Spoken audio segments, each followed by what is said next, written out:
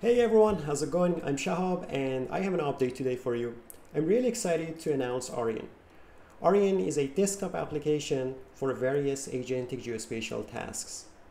There are three things in Arion that differentiate it from anything else that we have developed so far.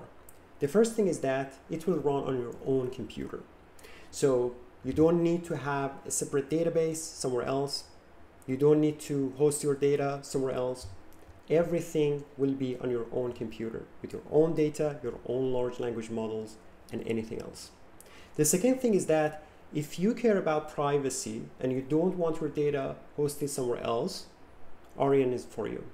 So everything will stay within your network and on your own infrastructure, which is amazing. This, the third thing is that it has been developed in a way that it's super modular. Why? Because we want to easily integrate different things into this app. And not only us, but you can also do that. Different agentic tools, no problem. MCP servers, no problem. A2A, no problem. Any protocol out there, AI related, no problem. All these things can be done easily in this app. It's super fast, as I will show you in this example.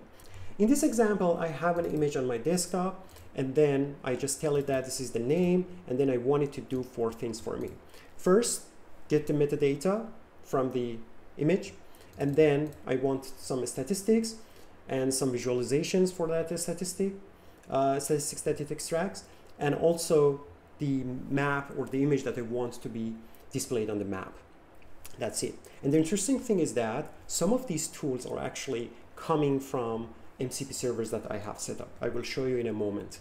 Uh, one of them is a file system MP server, and the other one is a set of tools that I have for statistical analysis. In this case, just simple uh, statistical calculations. Um, and in this case, I just use uh, Gemini 2.5 Flash, which is a thinking model.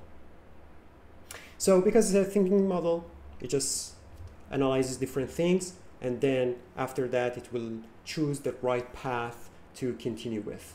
So it extracts the image, it finds it based on the tools. So for example, this one comes from the uh, MCP server, file system MCP server, and then it extracts the metadata. Um, it provides some information for us. It will also provide the chart and then add the image to the map. And then uh, in this case, uh, it also opens the sidebar for us. It's already open, so we didn't need that. Um, but also you see that it shows the image. And the interesting thing is that this image can be a tile server. So you can also run a tile server on this and then run huge data on it. So no problem whatsoever.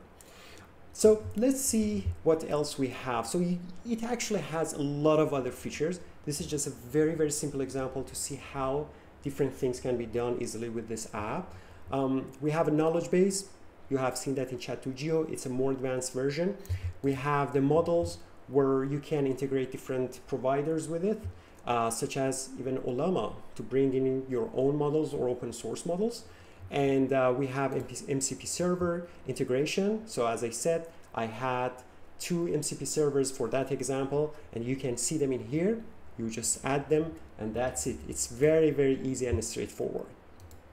And there are plugins and integrations and things like that. So a lot of things.